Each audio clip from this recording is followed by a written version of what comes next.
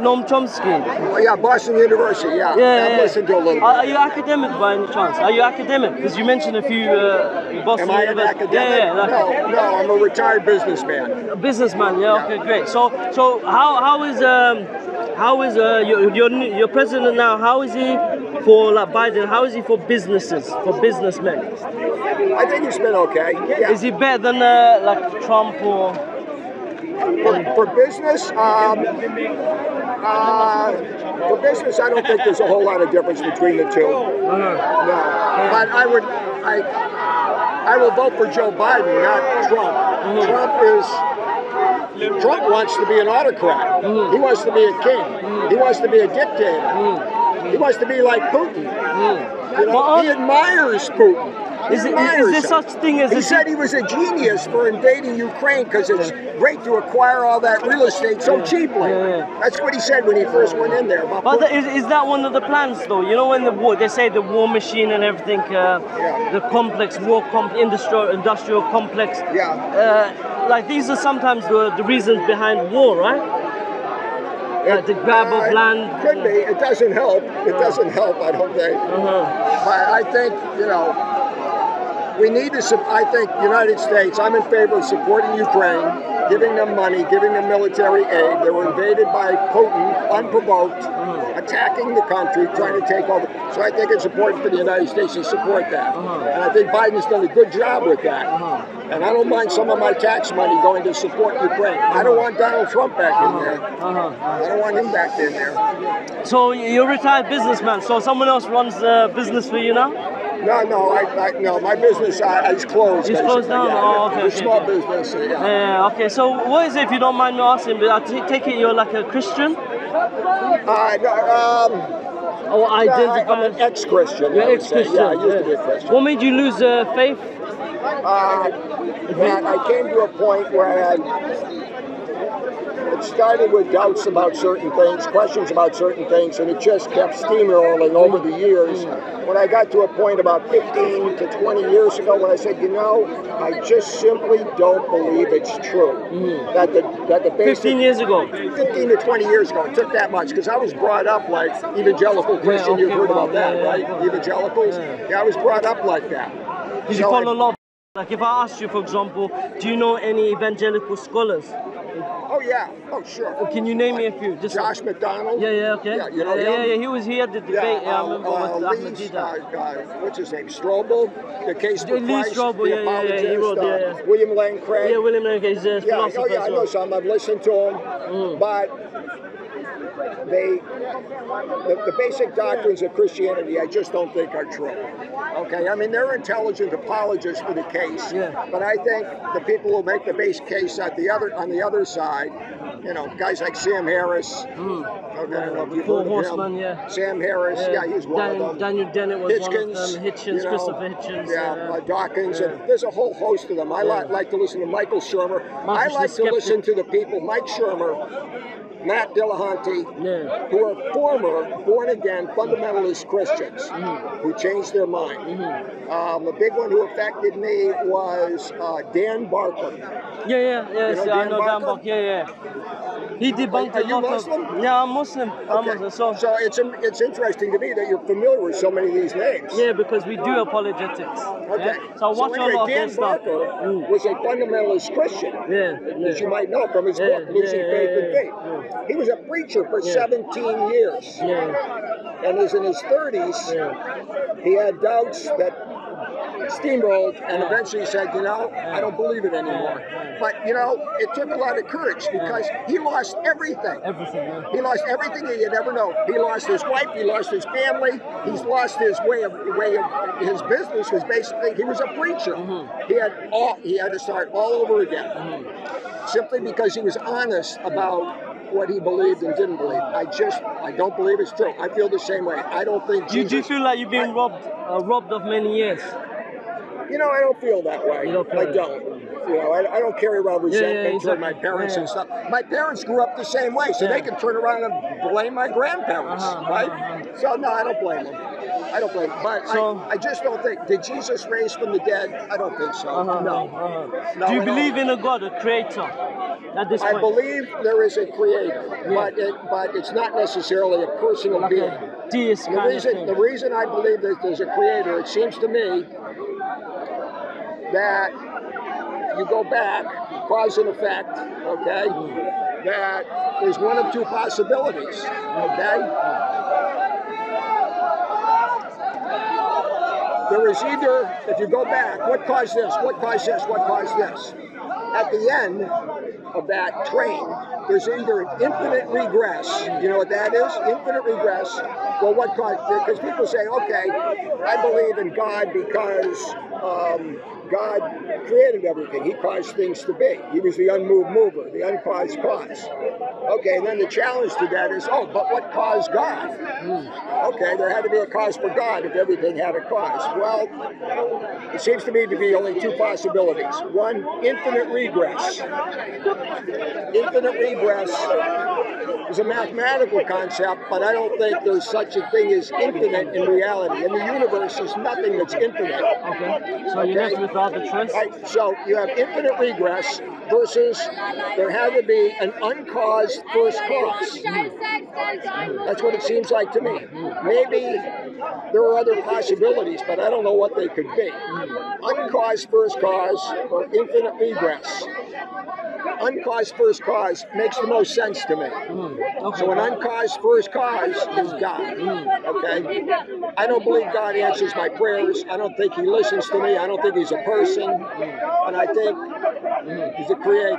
It's, So the- you it's the ground of all existence, the ground of being, the ground of all existence. Is what So, so would you say, um, as we move, you say all of this is just like a byproduct of creation, like an accidental creation? an accident? Yeah, because we have to look at all of the beauty around you, the green trees. It's, it's, uh, I usually argue, because I'm familiar with these arguments, but I try to keep it on a very simple level. Do you think such artistry, and it's, uh, comes from accident, you know, the placing of your eyebrows above your eyes and the nose where it is, this, uh, and the whole structure of you being able to keep upright with the spinal cord and so on, do you think all of these are products of accidents?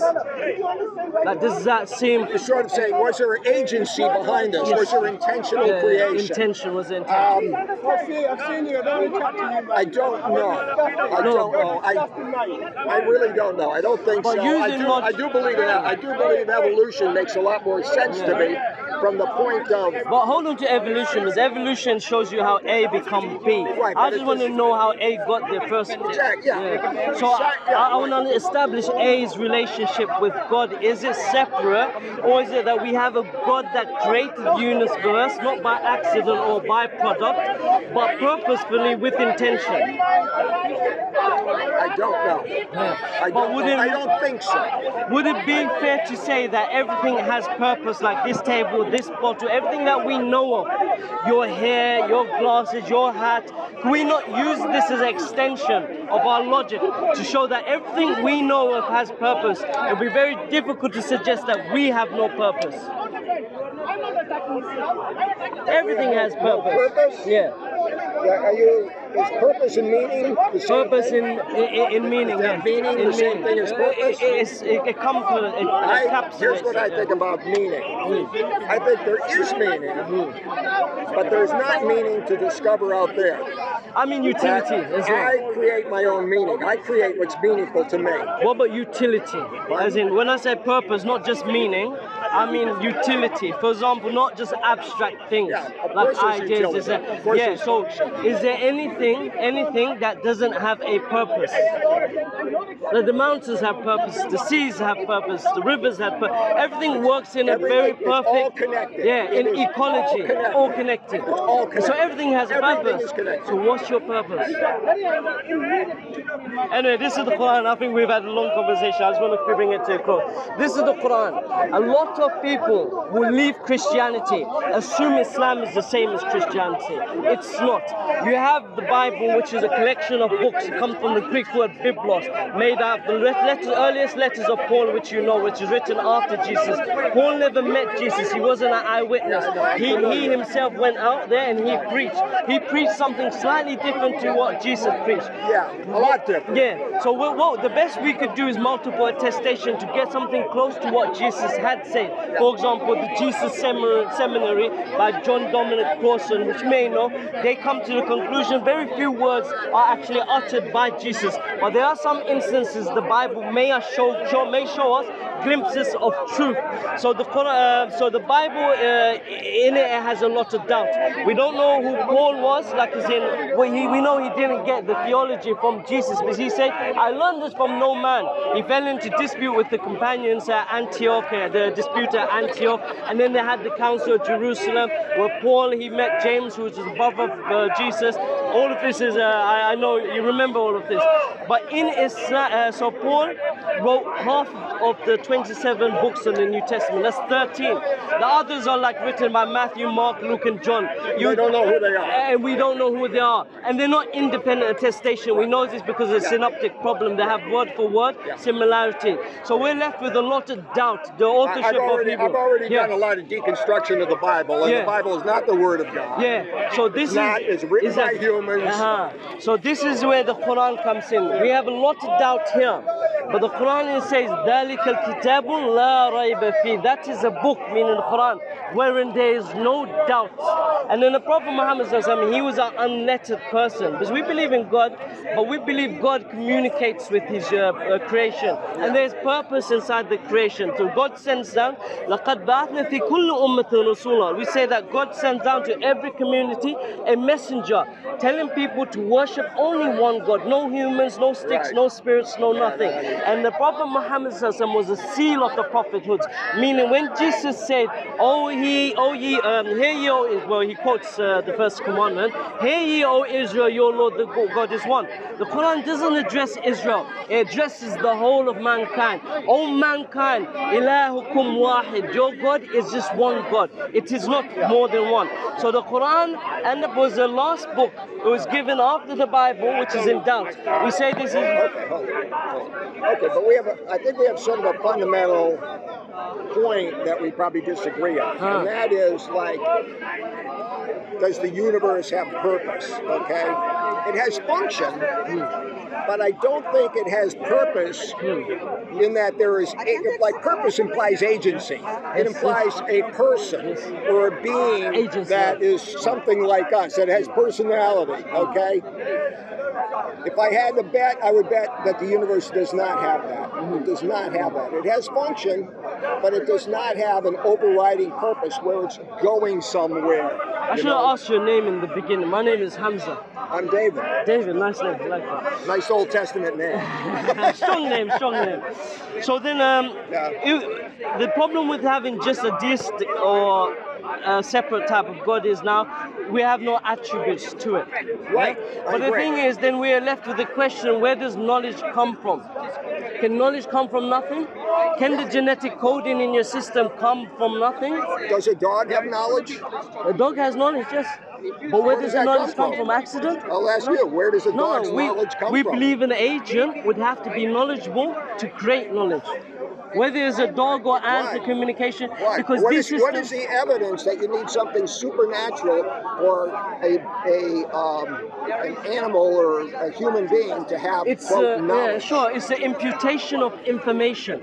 It's like a computer can't have software without a software designer. And this is what we see when we look at the DNA or cell biology. We look at the mitochondria, the RNA, the DNA, the cell synthesis, mitochondriosis, all of these processes in the cell alone. And we look at the DNA. We look at the adenine, the guanine, tyrosine, uracil. We we find it very difficult to think that all of this information, because that's what it is, information, it appears by accident. And even if you were to argue it comes from accident, you would need a long, long, long amount of time, which mathematically would be Here's the difference between a scientific approach and a religious approach. Mm. In the scientific approach, when you get to something like that, we say I don't know.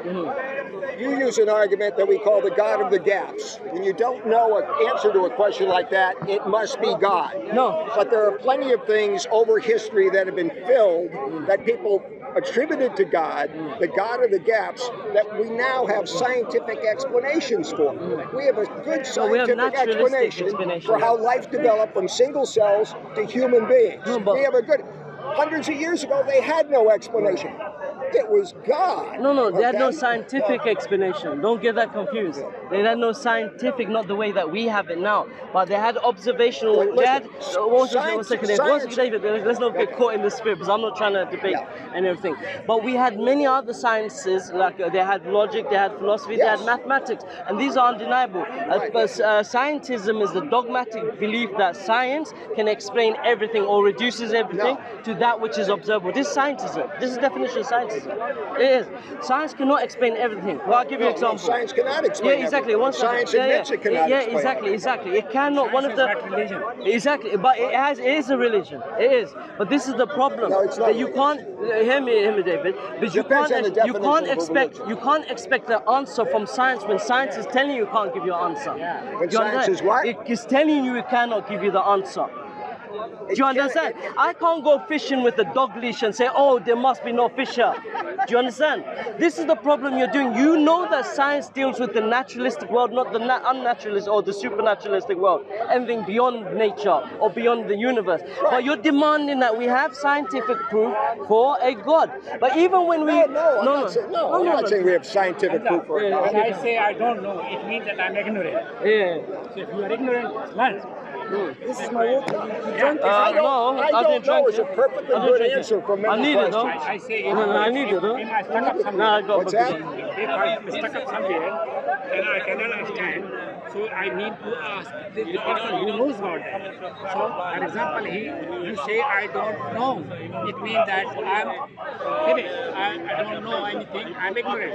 So Well, I know some things. It doesn't mean I don't know anything. I won't say I don't know. Yeah, so this is one of the problems in science. Anyway, science is riddled with problems and it doesn't always have the answers. It I can know. never have like metaphysical truths, I agree. ethical judgments, aesthetical judgments, ugly, da, da, da. Logic and maths, which is the basic of science. It cannot explain that. Science cannot even explain some things which is scientific. You know, science. Like as in we assume or make uh, uh, assumptions. Like the speed of light. We make assumption that is constant. But we don't know it's constant. It's not constant. You run it through water, it's a different speed than Yeah, running yeah, through the air. yeah, yeah, sorry, yeah, but generally when we make uh, equations, we assume uh, the constant, uh, the, In constant, yeah. Yeah, speed of light in Yeah. So yeah, there are many things that we don't claim to know. Yeah, we don't claim to know. Like you don't know if you will, God forbid, like sink into this ground. We don't know. But you make a judgment call, right? Yeah, There's a don't even- probability. I don't, I don't There's a probability. I walk across the street, I could be killed by a bus. But, But there's a, but you live you live as if that you can't take that next Of step. course. And this is the same thing for the believers. We live as if there is a creator. The creation lives as if there is a creator. I- I it live- gives us yeah. meaning. It saves us from materialism, nihilism, falling into these I, dark, I, dark holes. for, I lived for many years as if there was a creator, as if there was a personal God, as if I could talk to Jesus, as if he could answer prayer. Hmm. It didn't work for me ultimately. Yeah, yeah. I found better answers. But this is- this is elsewhere. my- I have this book. Yeah. Not only do I have this book, I have a 500 page book written by a Muslim imam, is it? Uh, imam?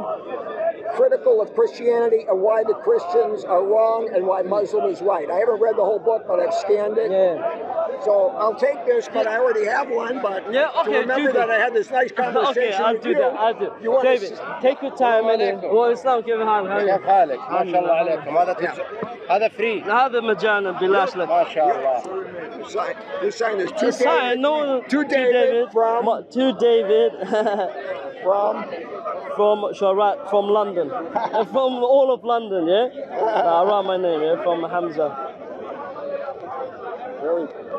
Take a chance, David. Take a chance. You never know. Because you know what I found? That a lot of atheists that leave Christianity assume all other religions are the same as Christianity. Yeah. It may be that you find an answer.